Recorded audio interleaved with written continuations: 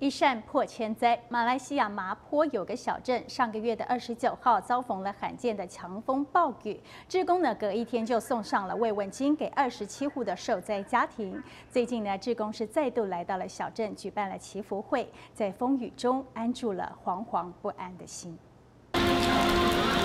祈福会当天，天公不作美，雨是时大时小，但民众想到的却是两个星期前的那场风灾。我我厝人最追啊！啊，哇，出点什么料了？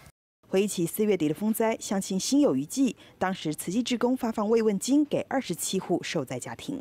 他们将看到我们慈济走进来哈，他们真的每个讲，只有慈济第一个走进来的，是真的安他们的心啊。慈济来了了，不要紧了了。那我们就赶快要来办一个这样的祈福会哈，来为我们的福建巴士哈祈祈福。风灾过了半个月，当地天气依旧不稳定。职工透过祈福会来安大家的心。我就希望那个世界哦，要不要有灾再有灾，让大家可以过得平平安安。今日来是讲心情较定咯，心就较在咯，较无安尼惊嘛。职工贴心关注乡亲的需求，温暖他们的心，也让祝福的力量扩大。大新闻江妙珍、苏欣怡，马来西亚报道。